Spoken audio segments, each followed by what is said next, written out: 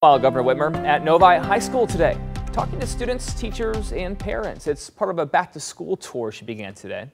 7 Action News anchor Mike Duffy was there and asked her about her priorities. He joins us live with what students asked her. Mike. Brian, students in the Novi School District will be back here on campus in less than two weeks now.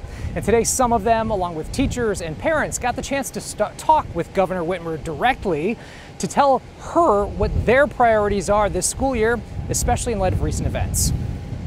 It means that she's got something to learn here, right? She's coming here because maybe there's something we can help her see as she makes her new policy. Lori Lenneschmidt, parent and PTA member, reacted to Whitmer talking to people in the Novi School District Wednesday. Lenneschmidt told me what parents like her are prioritizing. We just want to see a continued focus on mental health in the schools and teacher retention. Senior Krisha Romani reacted to the upcoming start of the school year. I'm super excited for it. I really am.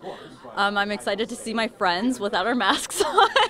she got the chance to talk to Governor Whitmer directly, and she reacted to the governor's focus on mental health in schools. I've definitely seen an increase in the priority of mental health. There's definitely been an increase in the priority of school safety. She says there are a number of increased pressures on students coming out of the pandemic and following the Oxford school shooting last year. It doesn't come to the forefront. It, you, you don't think of it until it happens in your community. I asked her how often safety's on her mind. I Wouldn't say I'm constantly thinking of it, but it's definitely just a background stressor, and it's just the knowledge of what could happen. Governor Whitmer reacted to the day's conversation with students like Romani and teachers and parents. So I was really, you know, grateful that so many people with different, uh, you know, vantage points joined us today to talk about the mental health of our children, the needs of our education workforce, um, public safety. Whitmer said this year she's particularly focused on in person learning, on campus mental health, and staff recruitment and retention.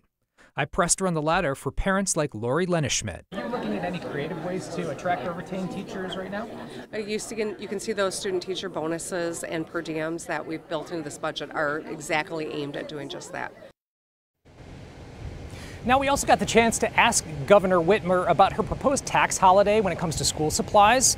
She says she's still very much in support of it, and despite what some of her critics have said that it's rushed, she says that this has actually been in the legislature for a year and a half. It's just gone nowhere. So we'll have to wait and see if this makes any difference come school time, but right now it doesn't look very likely. In Novi, Mike Duffy, 7 Action News. All right, Mike, thank you.